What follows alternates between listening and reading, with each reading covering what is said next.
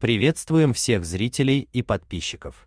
Кто не подписан, просим подписаться на наш канал и поставить лайк, а также, чтобы не пропускать свежие выпуски новостей, нажмите на колокольчик. Спасибо.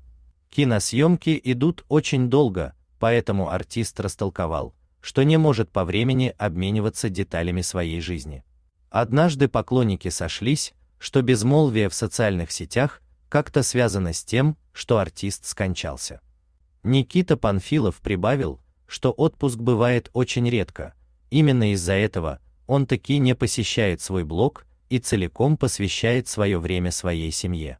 Могу не бывать в социальных сетях месяцами. Facebook не заходил вообще пару лет.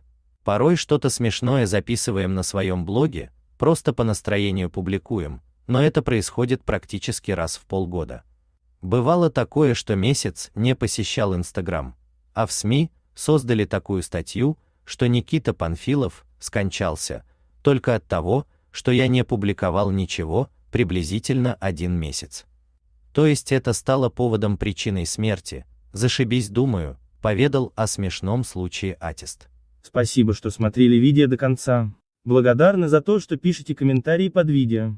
Это помогает нам в продвижении канала. Пишите комментарии под каждым видео, а мы выберем 20 пользователей, которые напишут больше комментариев под нашими видео, и отправим каждому по 50 долларов. Нужно обязательно быть подписчиком нашего канала, и поставить лайк на последние 5 видео. Берегите себя и своих близких. Будем благодарны за лайк и подписку на канал.